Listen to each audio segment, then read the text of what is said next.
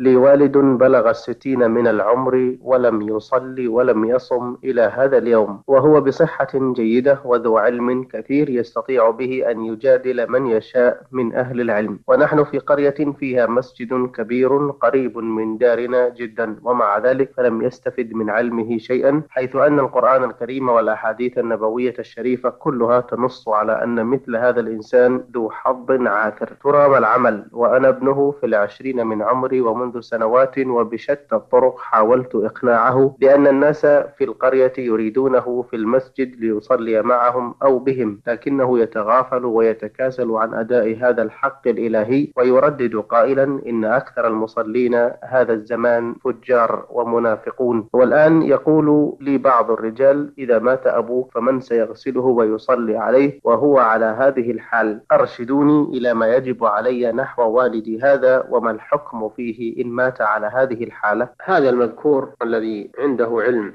ولكنه لا يصلي ولا يصوم ولا يعمل بأحكام الدين هذا ضال والعياذ بالله.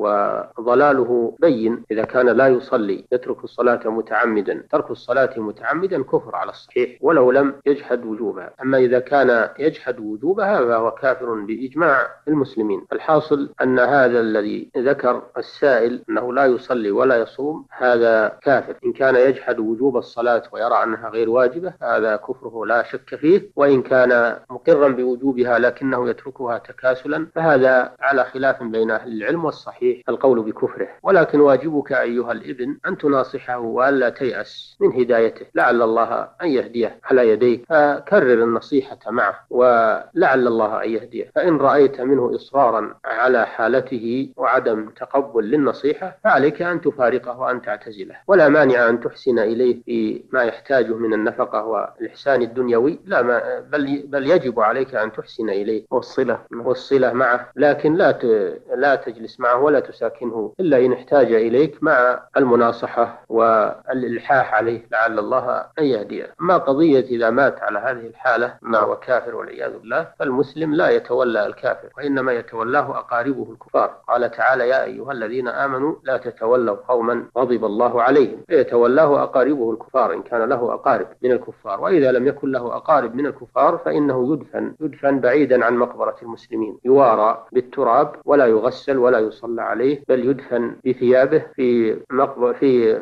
في مدفن معتزل عن مقبرة المسلمين. نعم. من باب المواراة لجثته لئلا يتأذى بها الناس. ولأن النبي صلى الله عليه وسلم ألقى قتلى بدر في القليب فيجب أن يوارى ولا يكون هذا في مقابر المسلمين.